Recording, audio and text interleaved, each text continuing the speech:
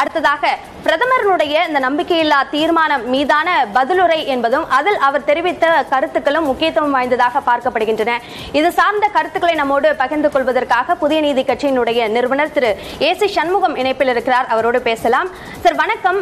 பிரதமருடைய பதிலுரை இதில் அடிப்படையாக என்ன இருந்தது என்று நினைக்கிறீர்கள்? அவர்களுடைய கருத்துக்கள் எவற்றையெல்லாம் வெளிப்படுத்தியதாக நீங்க நினைக்கிறீங்க?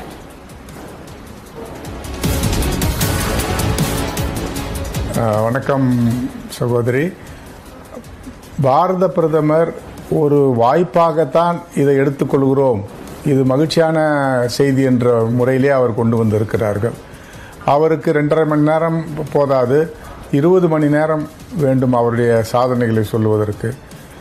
இதுவரை இந்தியா அறுபத்தைந்து ஆண்டு காலத்திலே இல்லாததை இந்த ஒன்பது ஆண்டு காலத்திலே மிகப்பெரிய சாதனைகளை செய்து இன்று உலக அளவிலே இந்தியாவை மேல்நோக்கி பார்க்கின்ற வகையில் உற்று நோக்குகின்ற பார்க்க வகையில் பொருளாதாரத்திலே ஐந்தாவது இடத்திற்கு வரக்கூடிய அளவிற்கு நாட்டை பொருளாதாரத்திலே கொண்டு வந்திருக்கிறார்கள்.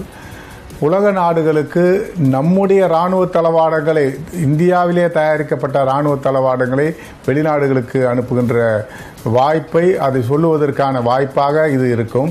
அதே போன்று நம்முடைய நம்முடைய அமெரிக்க நாட்டில் என்ன சொன்னார்கள்? கோ- கோவிடை தாக்கும்போது இந்தியாவிலே அதிகமான மக்கள் தொகை மூன்றிலே ஒன்று அல்லது நான்கிலே ஒன்று அழிந்து விடுவார்கள் என்று சொன்னார்கள். ஆனால் பாரத பிரதமர் இந்தியாவிலே தயாரிக்கப்பட்ட கோவேக்சின் கோவிஷீல்டை வைத்துத்தான் இந்திய மக்களை காப்பாற்றி காட்டினார்கள். அதைவிட எண்ப எண்பது நாடுகளுக்கு இலவசமாக இந்த மருந்துகளை இந்தியாவிலே தயாரிக்கப்பட்ட மருந்துகளை கா- அனுப்பி உலகத்தில் இருக்கிற உலக ரட்சகராகவே மாறியிருக்கிறார்கள் ஆகவே எல்லாவற்றிற்கும் விளக்கங்கள் தான் தற்போது விமர்சனத்திற்குள்ளாக இருக்கிறது. நம்பிக்கையில்லா தீர்மானம் என்பது ஒட்டுமொத்தமாக பாஜக அரசு மீது வைக்கப்பட்டிருந்தாலும் கூட எந்த அடிப்படையில் இந்த நம்பிக்கையில்லா தீர்மானம் கொண்டு வரப்பட்டது என்ற அடிப்படையில் அவருடைய பதில் அமைந்திருக்க வேண்டாமா? மணிப்பூர் விவகாரம் என்பதுதான் ஒரு முழுமையான முக்கியத்துவம் வாய்ந்ததாக தேசம் முழுக்க இருந்து வரக்கூடிய நிலையில் அது குறித்த கருத்துக்கள் மிக குறுகியதாகவும் மற்ற விஷயங்கள் அதிகமாகவும் இருப்பது என்பது விமர்சனத்திற்குள்ளாக இருக்கிறது. இது பற்றி உங்களுடைய கருத்து. மணிப்பூர் ம- மணிப்பூர் செய்திகளை மீண்டும் மீண்டும் பேசுவதனால் மீண்டும் மீண்டும் அதை ஒவ்வொரு கட்டமாக விளக்குவதால் யாரால் எந்த அமைப்பால் எந்த ஒரு பிரிவால் இது அடிப்படை காரணம் இது அரசியல் கட்சிக்குள்ளே நடக்கின்ற பிரச்சனை அல்ல. இரண்டு சமுதாய மக்களிடம் நடக்கின்ற பிரச்சனை. ஆகவே என்னை மறைந்திருந்து தாக்குகிறார்கள் இரவிலே கொளுத்துகிறார்கள் இது போன்ற நடவடிக்கைகள். அதை ஒன்று ஒன்றாக பிரதமர் வாயால் பகிர்ந்து கொள்ளும்போது இன்னும் இந்த கலவரத்தை தூண்டுவதாக அமைந்துவிடுமே தவிர அது தணிக்கையை த- த- தணிப்பதாக இருக்காது. ஆகவேதான் அதை பற்றி விளக்கமாக அதிக விளக்க நேர நேரமாக அதை எடுத்துக்கொள்ளாமல் குறுகிய வட்டாரத்திலே அதை நிச்சயமாக தடுத்து நிறுத்துவோம். அதில் என்ற உறுதிமொழியை பா- நம்முடைய பாரத பிரதமர் அவர்கள் கொடுத்திருக்கிறார்கள். ஆகவே வன்முறையை மீண்டும் தூண்டுவது மீண்டும் ஒவ்வொரு கட்டமாக அதை விளக்குவது எதனால் நடந்தது எப்படி வந்தது எப்படி அடைக்கணும் என்பது. அதே போல இர- மக்கள் மத்தியில் இருக்கின்ற பிரச்சனையை சுமூகமாக தீர்க்கின்ற வகையிலேயும் சாதாரணமாக ராணுவத்தை வைத்து ஒரு ராணுவ பலத்தை மிருகத்தனமாக அதை அடக்கிவிட முடியாது. அதை தணிக்கை முறையாகத்தான் ஒவ்வொரு கட்டம் வழியாகத்தான் அதை நிறுத்த முடியுமே தவிர அதை உடனடியாக தீர்ப்பதற்கான வாய்ப்பை உடனடியாக சொல்ல முடியாது. ஆகவே இதை வந்து எதிர்கட்சிகள் எதிர்க்கட்சிகள் இதை அவருக்கு எதிராக இதை அதிகமாக பரப்பி கொண்டிருக்கிறார்கள். ஆகவே பல்வேறு சம்பவங்களிலே பல்வேறு நிகழ்ச்சிகளே இந்தியாவிலே பல இடங்களில் நடந்த விவகாரங்கள் தான். இது கொஞ்சம் அதிகமாக இருக்கிறது. பத்திரிகை பலமும் நம்முடைய தொலைக்காட்சியும் அதிகமாக ஒளிபரப்பும் போது அது எதிர்க்கட்சிகள் அதை கையில் எடுத்துக் கொள்கிறார்கள். ஆகவே இதை தணிக்க வேண்டும் என்பதற்காகவும் தடுத்து நிறுத்த வேண்டும் என்பதற்காகத்தான் பிரதமருடைய பதில் வரை இருந்தது. இல்ல இப்போ நாட்டில் நாட்டுல ஒரு மாநிலத்துல கிட்டத்தட்ட இந்த கலவரம் காரணமாக நூற்றி ஐம்பதுக்கும் மேற்பட்டவர்கள் உயிரிழந்திருக்கிறார்கள். கிட்டத்தட்ட மே மூன்றாம் தேதியிலிருந்து இந்த சிக்கல் நீடித்துக் கொண்டே இருக்கிறது. இதற்கான தீர்வு காண முடியாத ஒரு சூழல் காரணமாகத்தான் இது இவ்வளவு நாட்கள் நீளக்கூடியதாக இருக்கிறது.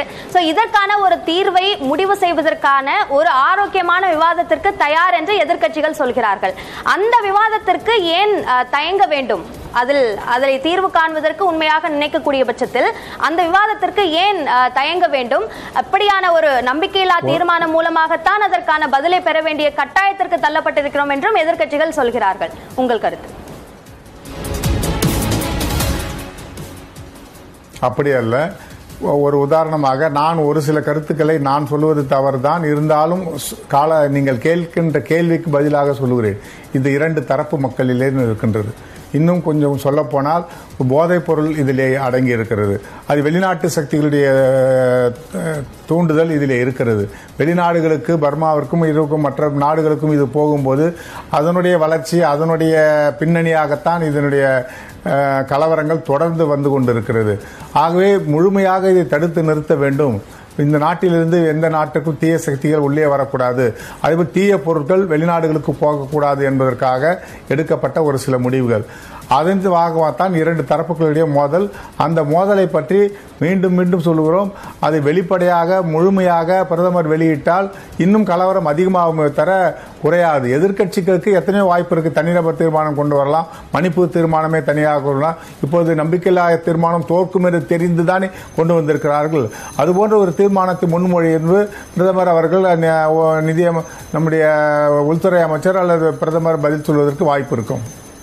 இப்போ நம்பிக்கையில்லா தீர்மானத்துல தமிழ்நாடு தமிழ்நாட்டில் இருக்கக்கூடிய அரசியல் திமுக இது சார்ந்த முக்கியத்துவம் அதிகமாக கொடுக்கப்பட்டிருக்கிறது. எதனால் நினைக்கிறீங்க?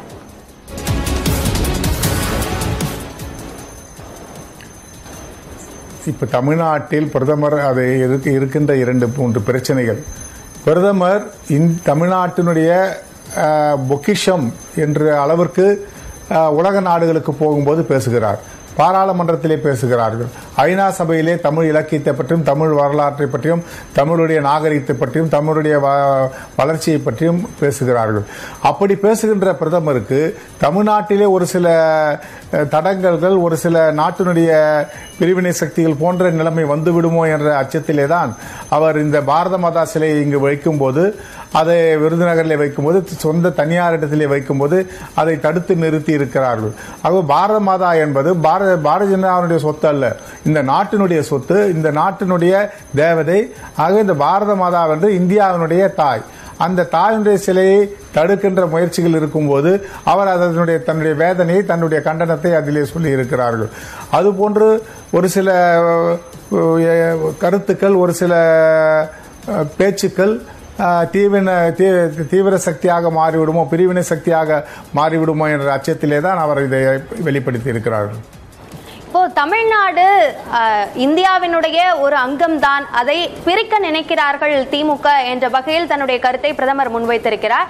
அது சார்ந்த கருத்துக்களை மற்ற மத்திய அமைச்சர்களும் கூட முன்வைத்திருக்கிறார்கள். இதனை பிரிவினைவாதம் என்று பார்க்க வேண்டுமா? அல்லது இதை வந்து மாநில சுயாட்சி சார்ந்த குரல் என்று பார்க்க வேண்டுமா?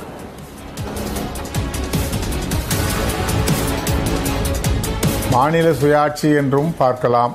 அதே நேரத்தில் பிரிவினை சக்திகள் என்ற ஆரம்பம் தொடக்கம் என்றும் கூட இதை பார்க்கலாம். ஆகவே தான் இதை பிரதமர் இந்த அளவிற்கு இந்த இப்போ நாடாளுமன்றத்தில் கொண்டு வந்திருக்கிறார்கள். அவருக்கு தமிழகத்திலே இருக்கின்ற செய்திகள் எத்தனையோ அங்கங்கள் அவருக்கு இருக்கிறது. அந்த அங்கங்கள் மூலமாக அவருக்கு பல செய்திகள் வரலாம். அந்த செய்திகளை வைத்து அவர் அதை அது போன்ற உணர்வுகளை அவர் வெளிப்படுத்திருக்கலாம் ஒரு பிரதமராக இருக்கக்கூடியவர் த- தமிழ்நாட்டினுடைய நிலைமைகளை பற்றி மனம் திறந்து சொல்லியிருக்கிறார் என்றுதான் இதை எடுத்துக்கொள்ள வேண்டும்.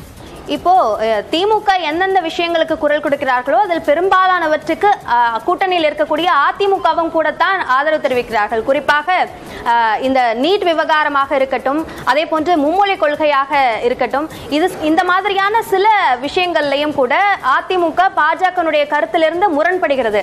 அப்போ கூட்டணியில் இருக்கக்கூடிய கட்சிகள் பேசும்போது மட்டும் அது மாநில சுயாட்சி மற்ற கட்சிகள் பேசும்போது பிரிவினைவாதம் என்று சொல்வது அரசியல் சார்ந்த கருத்தாகத்தானே பார்க்க முடியும். அப்படி அப்படி அப்படி அதை எடுத்துக்கொள்ள முடியாது.